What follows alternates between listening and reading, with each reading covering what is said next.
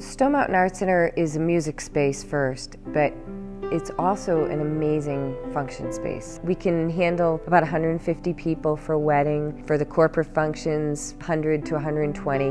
We've got a built-in sound system, we've got AV capabilities, we've got a lot of the things that you would find in typical function halls. And the food's amazing, our chef is great, and the staff is terrific. They're all really, really nice girls, and it's a really warm atmosphere when you're doing a function here.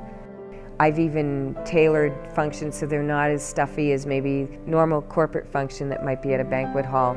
I've written songs for functions. You know, it's a retirement party for someone working at some company, and I have them send me their bio, and I'll write a song for them for the function. And we try to make the events more personal here. It's not just renting the room and, and having some food. We really want them to have some kind of personal human experience here that isn't like anything else they would get, and that's what we specialize in.